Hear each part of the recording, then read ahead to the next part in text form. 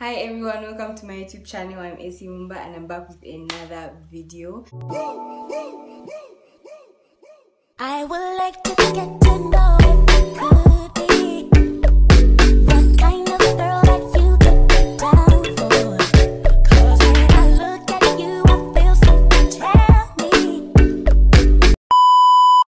So as you can see by the title, we're going to be doing a how-to video.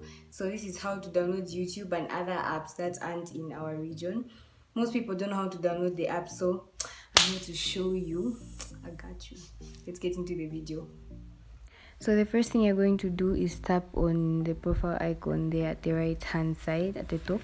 Then wait for this to pop up. Then tap country slash region. Wait for it to load. Once you tap that, tap on change country or region. Then choose the country UK. Uh, this is my sister's phone. It's already in UK because I was trying to do it for her and whatever. So yours will be in Zambia, but you're going to change it to UK once you tap it wait for it to load then this will pop up terms and conditions just agree to everything i don't even know what they say kaya but agree to everything agree agree so after that on payment method put nothing because you don't know the other ones for these other countries kaya then for the streets i just put boulevards I don't even know if that's a street in, in London, car if it's UK. Then town, I put London. Then the phone number has to have like nine digits at the end. I put nine digits. Then at the front, four four zero. Then after that, you have to put the postcode. I just searched for it. I, what was it? Yeah, the postcode was EC1A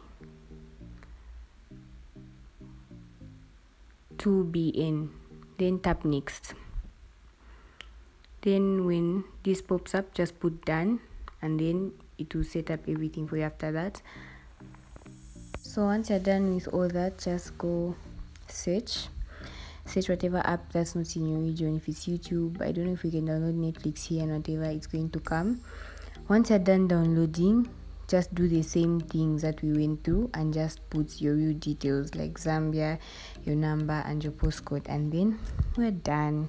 Don't forget to like and subscribe to this video.